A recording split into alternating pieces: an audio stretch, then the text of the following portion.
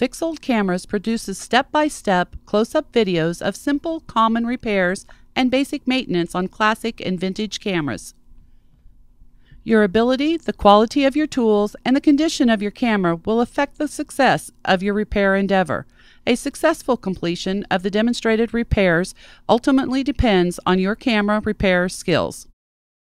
The OM10 viewfinder screen can be accessed and removed from the mirror box so that it can be cleaned.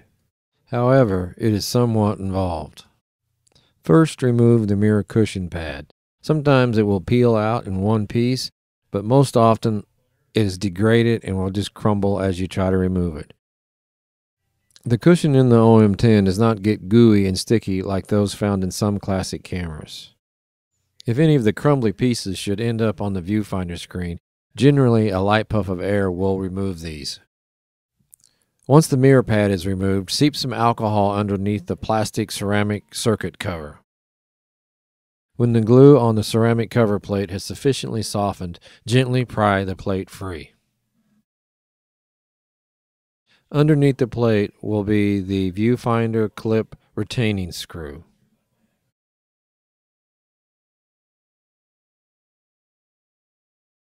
Remove the screw with a cross-point screwdriver.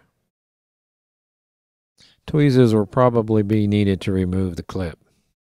With the viewfinder screen clip out of the way, catch the edge of the screen with the tweezer tip and gently drop the front edge down.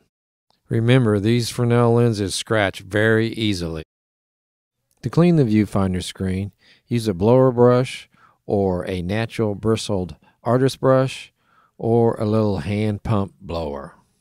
In this case, we're going to use the hand pump blower. The few dust specks present are effectively removed with the blower. When placing the screen back into position, be aware of the two clips at the back of the mirror box. The clips must be pulled down in order for the viewfinder screen to clear and slide into place. Once they are on the back side of the clips, the viewfinder screen can be pushed up into position. Hold the edge of the viewfinder screen so that the screen can stay in the position needed as the clip is installed. A magnetic screwdriver helps in accessing the screw. With the viewfinder clip installed, the cover plate can be glued back into position with a dab of Pliobond glue. Be very careful not to get any glue onto the viewfinder screen as this will scar the plastic. 1 millimeter light seal foam can be used as the mirror pad. Test fit for the length of the foam strip, making a cutting mark with the tips of your tweezers. A cute little camera with a clean viewfinder screen. Thank you for watching.